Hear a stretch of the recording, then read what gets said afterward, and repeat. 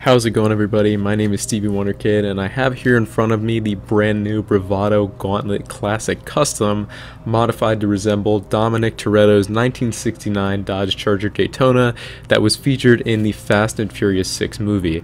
So today what I'm going to be doing is I'm going to be recreating his car and I'm going to be showing you guys pretty much all the mods you're going to need to apply in Benny's to make a really accurate replica of the car. I want to kind of note something before I get started is that pretty much the base car that we use for this, the Gauntlet Classic, is based off of a Dodge Challenger or a Plymouth Cuda. So I just don't think this is the right move on Rockstar's part. They already had the Dukes in the game, and that's based off of a Dodge Charger, as you guys know. And it would have been so easy for them to recreate the Dodge Charger Daytona just by putting the Daytona front end on that car, but they chose to do it on the, the, the Dodge Challenger or the Plymouth Barracuda, whichever one you want to call it. I really don't know why. And as you can see, the, the proportions of the car are pretty awkward. The wing doesn't quite match up the best as well, but there are quite a few tuning parts that I think are obvious nods to Dominic Toretto's Charger Daytona, and that's what we're going to be exploring today in Benny's, and then I'll show you guys um, some variances. You can't get like a perfect match of all the parts on this car, but I'll be showing you guys some options for some of those where there are some discrepancies. But yeah, without further ado, let's take the car into Benny's and see what's up. Alright, so now that we're in Benny's, we're going to start taking a look at all of the external upgrades. For all these videos, I tend to skip the performance mods. That's kind of down to you, what you have unlocked, all that stuff. So going into the bumpers, for the front bumper, we chose the single vented nose cone. Really, you could keep this stock. It doesn't affect all that much. As long as you keep like the front bumper here up top stock, there's a couple options here that kind of create these little indents, as you can see in the center there between the headlights. That's not going to match up very well with Dom's car, which is why you could leave it stock, or I just went with a single vented nose cone.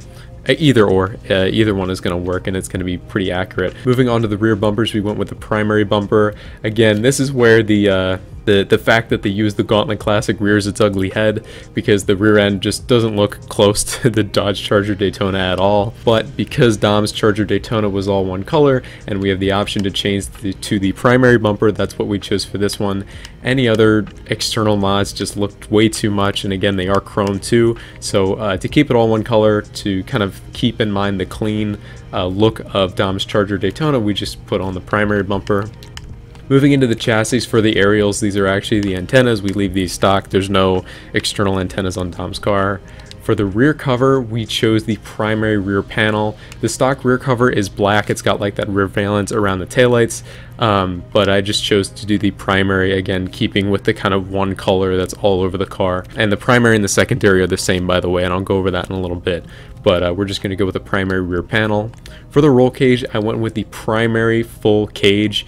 Uh, you have a couple options here of roll cages, but I think the primary full cage is the best, uh, most accurate match. If you look at the interior of Dom's Charger Daytona, it's fully kitted out. It's got a full cage and everything, but it doesn't have the pads, and it's also not small like the half cage, so I just went with the primary full cage. As for the sun strips, Dom's Charger doesn't have one, so we just kept this stock. As for the exhaust, um, this is actually a really, really cool one that Rockstar made, I think, as a nod to this car, uh, is we are deciding to run the side exit exhausts here.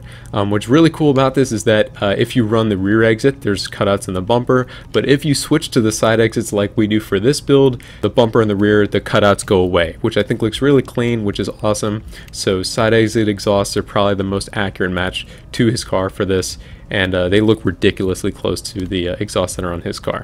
Moving on to the fenders, we're going to keep these stock. The fenders actually allow you to modify both the front fenders and the quarter panels in the rear, but we're just going to keep both of them stock. Moving on to the headlight covers, uh, unfortunately there's actually no option in Benny's to have like the one-piece headlights. You have to do the pop-ups of some sort. So to save a lot of money and to uh, kind of create that same look when the headlights are down, I chose the full black lights. You could do the same thing with the black top lights, but I just don't think it's necessary paying extra for that. I just went with a full blacked so that way when the headlights are down, it does look somewhat like integrated headlights and I think they look pretty mean. Going to the hood, the nose accessories, we're going to run none. These add like these weird lips, like it's almost like protectors for the front end. I don't really like the look of these, and of course Dom's Charger doesn't have one, so we stay away from those. For the hood catches, we went with the primary hood latches. Uh, again, primary or secondary, they're the same one. They're going to make no difference there. The mid hood latches I feel like are too far back, so we just go with the primary hood latches. As for the hood, we went with the deep inset hood, and this is another one like the exhaust that was like dead on accurate to Dom's Charger Daytona, so we just went with the deep inset hood. Um, this is by far the best match for this. Moving into the interior, we're going to go through this quick, but the dash, we went with the flocked rally dash. Now, uh, Dom's Charger, as I talked about, the interior is pretty well kitted out with um, lots of interior gauges and dials and things like that, in addition to the roll cage and everything else, the seats. So we just went with a flocked rally dash. If you look at the interior of Dom's car, it's got these aluminum door cards, which I'll go over in a minute, but the dash itself is also one piece of aluminum as well, and unfortunately in GTA that just isn't an option. It's kind of these recycled same uh, dashes that you've seen on some of the other Benny's cars, so we're just going to keep this as the flocked rally dash. It gives it that like lighter gray texture which kind of matches with the aluminum. You could also run the rally dash or the carbon rally dash and you can actually match that with the door panels. Um, you can match them up with the carbon door panels if you wanted to. For the sake of accuracy for this build I just chose the aluminum door panels. It doesn't match up the best but I think it's as close as possible to his car which is why I decided to run those. I skipped over the dials but we're just going to keep the dials stock. I feel like adding any dials is just a little bit overkill because um, you already have pretty much all the dials you need right in front of you uh, in the dash. Moving on to the seats, I went with the Mark 1 Rally seats. These I think are the best option because the bucket seats in Dom's Charger are uh, kind of some weird shortened bucket seats that don't have headrests. So um, I think the, the two racing seats here are way too tall uh, and the carbon bucket seats just don't fit in my personal opinion either so I just went with the Mark 1 Rally seats. It's got the red harnesses too which match up with the rest of the car. As for the steering wheel, I went with the Sprint Professional. I think this is the best message you're going to get. As for the light color, there's really no difference here. I just went with ice white so I could see the gauges just a little bit better. Alright, moving on to the lights. Uh, headlights, I just kept them stock. And then neons, also there's no neons in his car, so I just kept those stock as well. As for the livery, again, Dom's Charger is just one clean maroon color, so I chose to run no livery on this car. As for the mirrors, uh, Dom's Charger Daytona actually has only one mirror on the driver's side, but unfortunately that isn't an option in GTA, so I just went with the bullet mirrors. The shape is very, very similar to the mirror that is on Dom's Charger Daytona, so I just went with these. Moving on to the plate, I just put it to yellow on black. There's really no option that'll fit here because Dom's Charger actually didn't have a license plate in the film. Alright, moving into the respray, um, this one I can't actually show because unfortunately the way that paint works, you can't actually show the base coat that you used um, after you put on a pearlescent. But the base color that I used to paint this car was a garnet red. Uh, it's a metallic color because I wanted to run the pearlescent. So the base color, uh, so the primary and the secondary color are going to be the metallic garnet red. And then for the pearlescent, I chose to go with a wine red pearlescent. There's a couple pearlescents that'll work. I think garnet red is kind of the key, and that's really going to get you the best match to the color that's on his car. It's going to get you that like really good shade of maroon. Obviously, you can create a better match with a crew color, but I think you're uh, you're well on your way to creating a really good match with the garnet red and just playing around with the uh, pearlescents. I tried a bunch of different combinations, and this was the best one that I found. But again, that's kind of up to you. You can play around with it. I'm not claiming it to be 100% accurate, but it is pretty close. As for the secondary, again, metallic garnet red, it's the same thing. For the trim color, I just chose graphite, that's just the stock color. You can change this up to match the color of the door cards, but it also changes the back seats, um, as well as the headliner and everything else, and the seat uh, themselves, so I just kept it to graphite. And then as for the roof, I went with the uh, primary roof. Uh, really, you can actually run the stock roof. I didn't understand this when I first modified the car, but the primary um, is the color of the, the car's body, and then the secondary is the color of the roof. So if you run the stock roof, in this case, since the primary and the secondary are the same, uh, you don't need to worry about the roof being another color. So I ran primary roof, but you can really just run the stock roof. It makes no difference whatsoever since the two colors are the same. As for the skirts, I ran the primary custom skirt. This is the closest option. There aren't really actually skirts on the car. It's just kind of the raw rocker panels and unfortunately that's not an option to like remove those skirts so that's why I chose the primary custom skirt. As for the splitters, I went with a full wedge splitter. I think this is the best match because it curves up and around the bumper slightly. Uh, and it also has like that black plastic finish, so I think it's the best match you're going to get. Going to the spoiler, this is kind of the signature aspect of the build besides the uh, the front end, which again is pretty questionable for this car, but hey, it works out in the end. Um, but for the spoiler, we chose the primary super spoiler, of course. Uh, this is probably the closest you're going to get to a Dom's Charger Daytona, so just run this one. It's the iconic Wang, you can't go wrong with this, and uh, this is as close as you're going to get it. Moving on to the suspension, uh, Dom's Charger is pretty low to the ground, so I just went with the lowest suspension possible. Um, kind of up to you, but again, since I noticed the car is pretty low already, it does tuck quite a bit in the front and the rear. I just lowered it as much as I could. And then moving on to the wheels, this was another one like the paint where there's some discrepancies here. Um, really, it's all down to personal preference. So the wheels that I found to work the best are either chrome tuners, either the Apex or the Stanced EG wheels. I like the tuner wheels slightly better because they have uh, a more high profile tire. They're a little bit thicker and you can kind of see the meat on the tires, which I think matches up pretty well. And these also have a little bit of a dish, which is somewhat close to uh, the wheels that are on Dom's Charger Daytona. I think these two wheels are probably the closest that you're going to get. I chose these to save a little bit of money as well because I've already spent quite a bit of money on this update. Another option for these wheels are to go into the Chrome Sport wheels and in here you could choose to either run the Inferno or if we go to the bottom here you could run the Ruff Weld or the Wangan Master.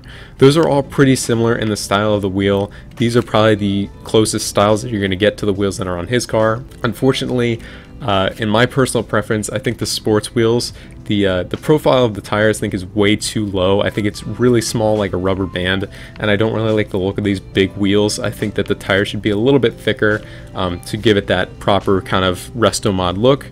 So yeah, you can choose any of these wheels. Again, because these are chrome and they are sports wheels, they're slightly more expensive. So you could run the Ruff Weld, the Wangan Master, or the Inferno.